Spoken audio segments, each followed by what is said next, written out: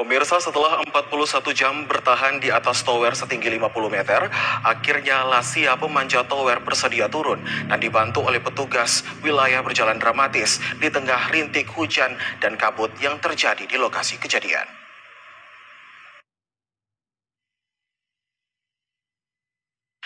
Agus Woro atau yang biasa dipanggil Agus Tower, lansia pemanjat tower radio komunikasi milik Dinas Kehutanan Kabupaten Ngada. Akhirnya menyerah dengan kondisi alam yang dingin serta hujan yang mewarnai aksi tidak terpujinya sehingga membuat banyak masyarakat kota Bajawa menjadi kecewa dengan perbuatan yang membahayakan dirinya sendiri serta orang lain.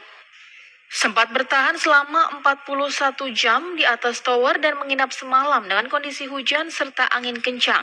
Akhirnya, dibantu petugas keamanan, Agus bersedia turun dengan menggunakan alat keselamatan secara perlahan dengan disaksikan oleh masyarakat yang memenuhi jalan raya serta halaman depan kantor Dinas Kehutanan. Dalam video amatir terlihat petugas di tengah hujan rintik dan cuaca mendung berupaya menurunkan pelaku ini secara hati-hati agar tidak jatuh akibat kondisi tower yang licin. Proses evakuasi yang sangat dramatis ini berjalan kurang lebih 40 menit dan langsung dievakuasi menuju kendaraan Polres Ngada yang sudah menanti. Kapolres Ngada AKBP Patmo Arianto menjelaskan, aksi panjat tower merupakan perbuatan yang tidak bagus serta berharap tidak akan terjadi lagi hal semacam ini di Kabupaten Ngada karena menjadi contoh yang tidak baik serta membahayakan diri sendiri serta keselamatan orang lain. Negosiasi, kemudian kami juga menghubungi keluarga dari yang bersangkutan bahwa memang betul yang bersangkutan bukan pertama kali melakukan aksi panjat tower, bahkan sudah sampai ke Jakarta melakukan aksi panjat tower tersebut.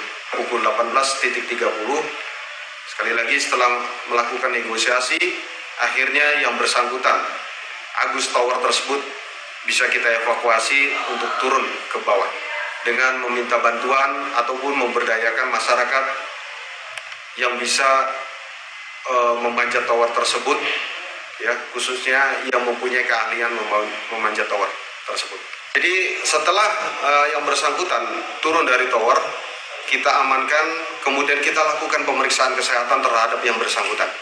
Kita datangkan dokter, kemudian uh, tim kesehatan dari jajaran Polres Ngada untuk memeriksa kesehatan.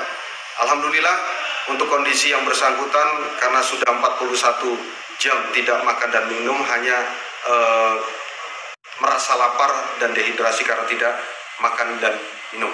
Namun secara medis sudah dilakukan pemeriksaan yang bersangkutan dinyatakan uh, sehat dan kami kembalikan kepada keluarga korban tersebut.